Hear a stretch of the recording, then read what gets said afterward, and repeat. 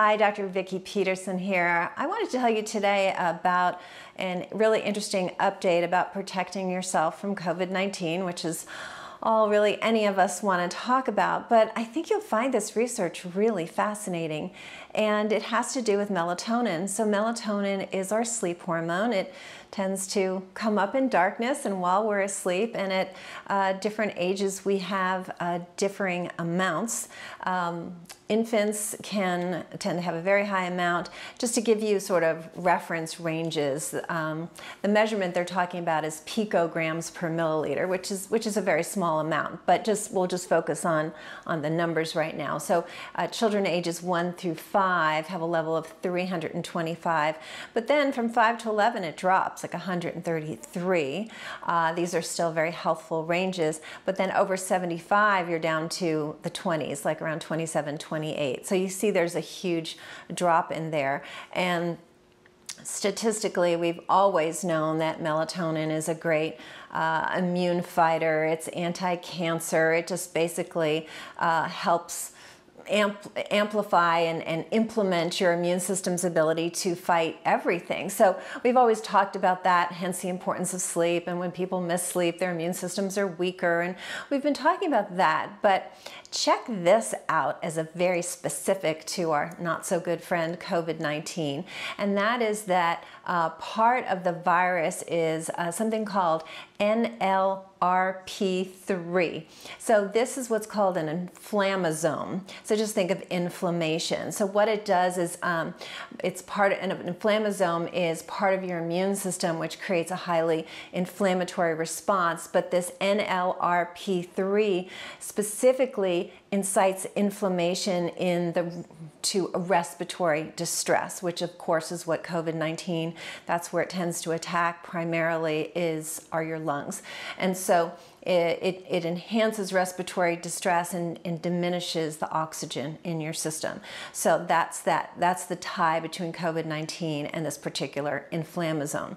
So what they found is that melatonin targets this bad guy instead of me saying NLRP3 for the next five minutes. Let's just call it the bad guy. And so melatonin targets it and uh, basically restricts it. And so if you have adequate amounts of melatonin, what they're finding is that it really takes the infectiousness or how, you know, infectious and, and how um, damaging COVID-19 is way down. So check this out. In, um, in China, in the hospital, uh, where, of course, this initially began, what they found was in Wuhan, none of the pregnant mothers and none of their newborns got very ill. Now, we've, we've kind of known for a while that children seem to be um, pretty you know, they weather this very, very easily. It's not that they're immune, but they get it so mildly, it's almost like you can't even tell that they have it. And it's been a question as to why. Why would that be? So now they're making this association that not only do newborns have very high melatonin, which is inhibit inhibiting our bad guy, our inflammasome, but also women in their third trimester tend to have twice as much melatonin as they do at the beginning of their pregnancy. So it's this protective response that our body has for mommy and therefore baby. Um, to keep melatonin really high, and melatonin is this great immune defender. So, isn't that fascinating? I thought that was so interesting. What else did I want to tell you?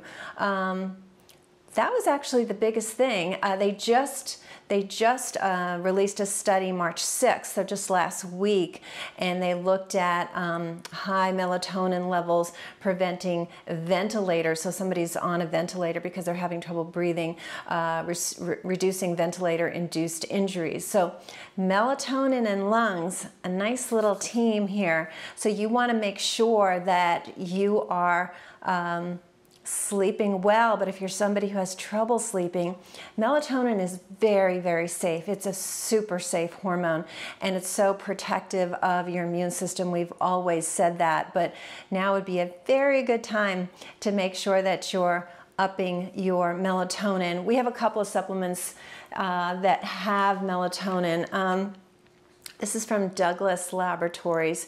It's got three milligrams of melatonin, which is a nice dose.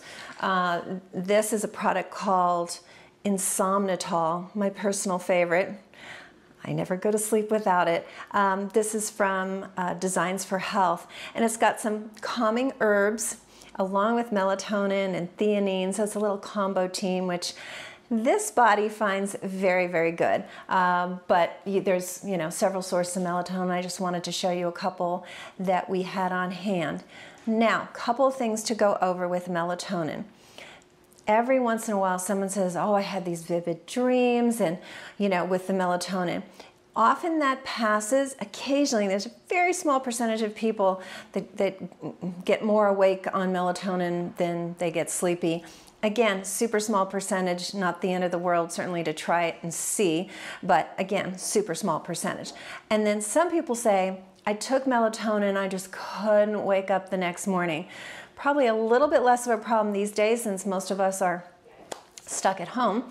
Um, but what that's about, just so you know, is that feeling of like, oh, I can't wake up, I feel like I'm drugged, is it shows that you have quite a sleep deficit. So that melatonin is actually wanting you to stay asleep longer because it's trying to um, handle that deficit. So bright light handles melatonin, just go out, look at the sun, look at a bright light in your home.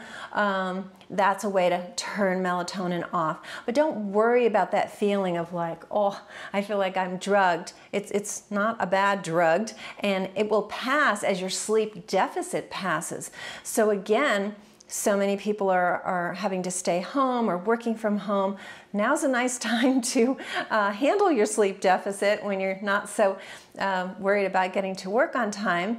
And it's super, super healthy. So I hope you found this fascinating. I certainly did. As I said, this new study that came out um, is just a week old, and there's been a lot of talk about kids don't get it thank God, but why? So this gave us a why, and it had to do with your melatonin levels. So um, I hope you're all hanging in there and doing well. Uh, certainly washing your hands and, and keeping your distance from people is very, very wise. Here at Root Cause, as an essential medical clinic, we are open. We are seeing patients, and um, we can see our functional medicine patients uh, over the phone, over Zoom, if they prefer that. Some people are enjoying getting out of the house, and we are taking all precautions to the nth degree here. We get our temperatures taken twice a day. Everybody that walks through the door gets a little temporal uh, temperature, so very easy to do, but make sure that nobody comes in who um, has any kind of a fever. And uh, anyway, we're, we're here for you. We want to give you the best advice, and please let us know anything we can do. So give me a call, 408 733 0400.